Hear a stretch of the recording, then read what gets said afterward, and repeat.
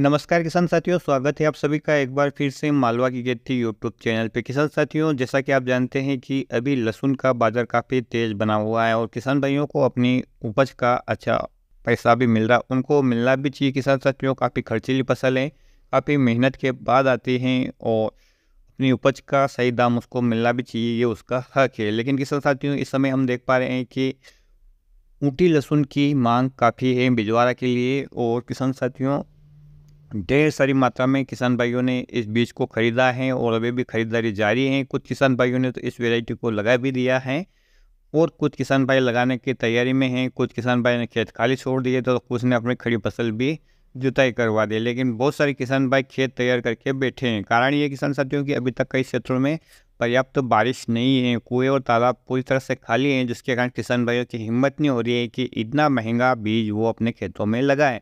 कारण ये है किसान साथियों यदि बारिश नहीं होती है तो बीज का पैसा भी डूब जाएगा। किसान साथियों मैं तो भगवान से यही कामना करता हूँ कि अच्छी बारिश हो कुएँ तालाब सब लबालब हो जाए, ताकि हमारी नेक्स्ट फ़सल, चाहे वो लहसुन हो, गेहूँ हो, चना हो, सरसों कोई से भी हो, अच्छी हो। और किसान साथियों यदि आप भी इस बार लहसुन लगा रहे हैं ऊटी की तो आप थोड़े उसे सीमित क्षेत्र में लगाएँ, बहुत ही महँगा बीज है। और किसान साथियों जैसा कि आप जानते हैं कि इस बार इतनी डिमांड है या इतनी मांग है कि किसान भाई इसे इतने खरीद रहे हैं कि इसका बीज काफ़ी महँगा बना हुआ है। किसान साथियों, ये बीज उन क्षेत्रों में भी पहुँच चुका है जहाँ तक अभी तक ऊँटी का वो नहीं जानते थे कि लोग ऐसी भी कोई लहसुन आती हैं। भले ही थोड़ी मात्रा में, लेकिन बहुत सारे किसान भाइयों ने इसे लिया है। तो इस हिसाब से यदि हम देखें, जितने बीज की खरीदी की जा रही है, वो उसकी यदि बुआई हो जाती है, अच्छी बारिश हो जाती है तो किसान साथियों, पैदावार भी हमें अच्छी देखने को मिल सकती हैं। और ये तो एक ऐसा सट्टा है किसान साथियों लहसुन और प्याज का हाँ ये लग जाए तो ठीक है। अन्यथा सब कुछ बेकार हो जाता। है कहने का मतलब है रोडपति आदमी करोड़पति बन जाता है और करोड़पति आदमी भी इसमें रोडपति बनने की पूरी पूरी संभावना रहती है। कारण है किसान साथियों इसका मार्केट यदि इसकी एक्सपोर्ट नीति बराबर सही रहती है तो किसान साथियों हमें लहसुन का अच्छा दाम मिलता रहता है। घरेलू खपत हमारी इतनी लहसुन की नहीं है जितनी विदेशों में है तो यदि एक्सपोर्ट बराबर चलता रहता है तो हमें लहसुन के अच्छे प्राइस मिल जाते हैं। लेकिन आप देख पाते हैं सरकार की नीति।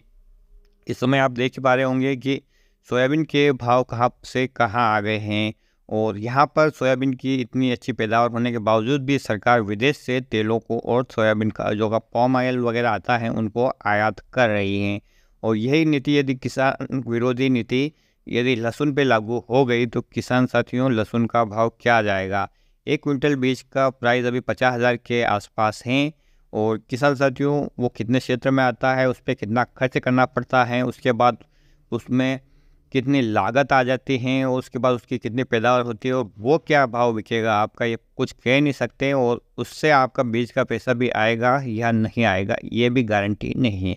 मेरा मकसद आपको डराने का बिल्कुल नहीं है कि आप उठी लहसुन ना लगाएँ किसान साथियों, लेकिन इसे सीमित क्षेत्र में लगाए, अपनी हिम्मत के ऊपर लगाए, अपनी हैसियत के ऊपर लगाए देखा देखे बिल्कुल ना करें।